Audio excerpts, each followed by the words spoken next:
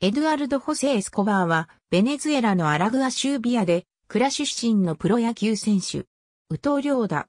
MLB のアリゾナダイヤモンドバックス所属。愛称は、エルデラピカ。シカゴホワイトソックス時代2006年にアマチュアフリーエージェントでシカゴホワイトソックスと契約してプロ入り。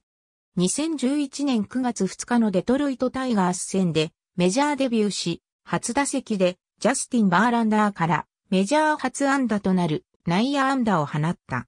この年はわずか9試合の出場ながら打率286をマークした。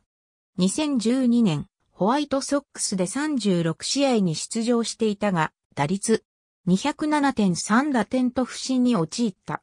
ミネソタツインズ時代2012年7月28日にフランシスコ・リアーノとのトレードで、ペドロ・ヘルナンデスと共にミネソタツインズへ移籍した。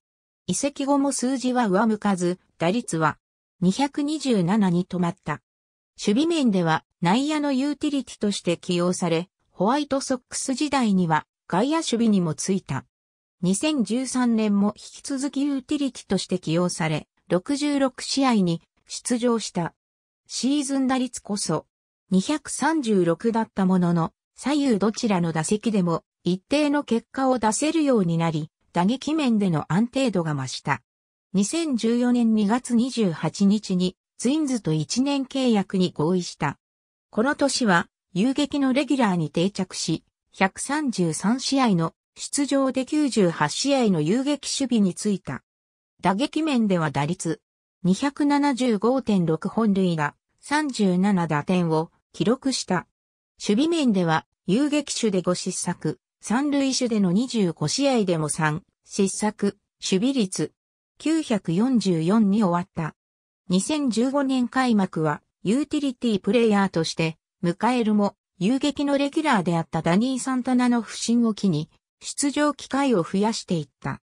127試合の出場で打率262、12本塁打、58打点だった。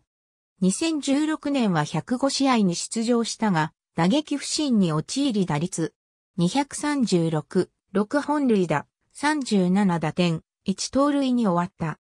守備面では、遊撃を守った71試合が最多で9失策、守備率970だった。23試合で守った3塁では1失策、守備率980だった。2017年は自己最多となる21本塁打、73打点を記録した。守備はサードとしての出場が主となり79試合で6、失策、守備率963という成績だった。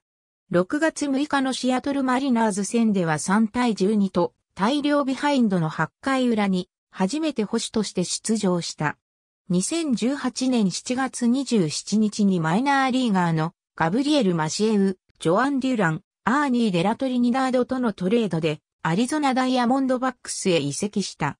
同年オフに総額2100万ドルの3年契約で契約更改した。ありがとうございます。